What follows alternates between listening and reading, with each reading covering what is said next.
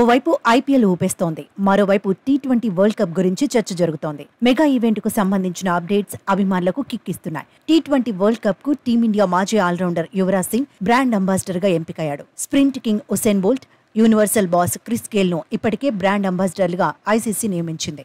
ఇప్పుడు ఆ లిస్టులో యువరాజ్ కూడా చేరిపాడు యువీని ప్రచారకర్తగా నియమించడంతో టీ ట్వంటీ వరల్డ్ కప్కు మరింత ఊపొస్తుందనే చర్చ జరుగుతోంది. నిజానికి వైట్ బాల్ క్రికెట్లో యువరాజ్కు ప్రత్యేకమైన స్థానం ఉంది. రెండు వేల ఏడు టీ ట్వంటీ వరల్డ్ కప్ను భారత్ గెలవడంలో లెజెండరీ ఆటగాడు తనదైన ముద్ర వేశాడు.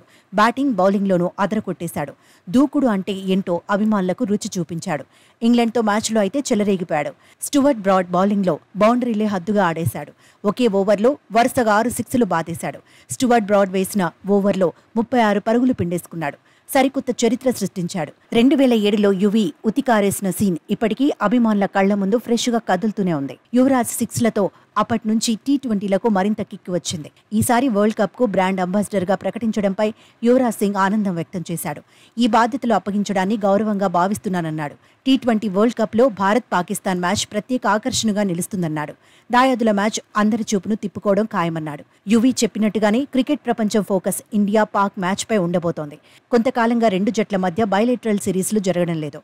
మేజర్ టోర్నీలోనే రెండు జట్లు ఆడుతున్నాయి. అభిమానులను ఎంటర్టైన్ చేస్తున్నాయి. గతేడాది వన్డే వరల్డ్ కప్లో ఢీకొట్టాయి. అహ్మదాబాద్లో జరిగిన మ్యాచ్లో టీమిండియానే గెలిచింది. ఆసియా కప్లోనూ పాకిస్తాన్పై భారత జట్టే పైచేయి సాధించింది. అయితే రెండు వేల ఇరవై రెండులో టీ ట్వంటీ ఫార్మాట్లో జరిగిన ఆసియా కప్లో రెండు జట్లు ఒక్కో మ్యాచ్ గెలిచాయి. రెండు వేల ఇరవై రెండు టీ ట్వంటీ వరల్డ్ కప్లో పాక్పై భారత్ విజయం సాధించింది. ఉత్కంఠ రేపిన మ్యాచ్లో టీమిండియా పోరాడి గెలిచింది. కోహ్లీ అద్భుతంగా రాణించాడు. ఒత్తిడిలోనూ ఆత్మవిశ్వాసంతో టీమిండియాను గెలిపించాడు. మెల్బోర్న్ ఊగిపోయేలా చేశాడు. దీంతో ఈసారి కూడా అదే రేంజ్ క్రికెట్ వినోదాన్ని ఎక్స్పెక్ట్ చేయవచ్చని యువరాజ్ మాటల్ని బట్టి అభిమానులు ఫిక్స్ అయిపోతున్నారు.